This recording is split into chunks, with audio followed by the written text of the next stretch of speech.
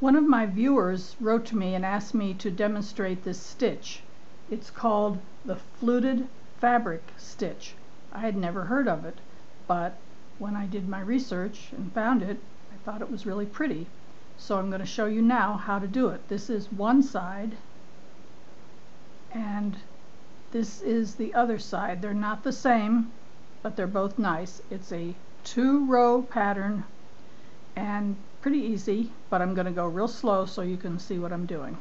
So you're going to cast on a multiple of 4 plus 1, and this is the first row.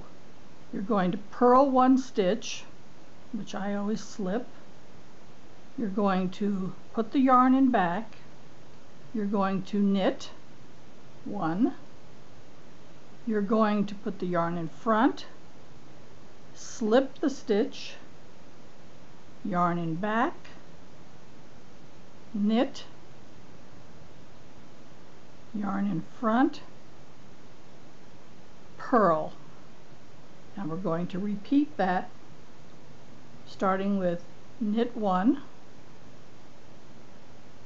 yarn in front, slip,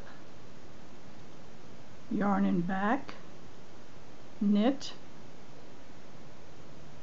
yarn in front, purl, and again knit,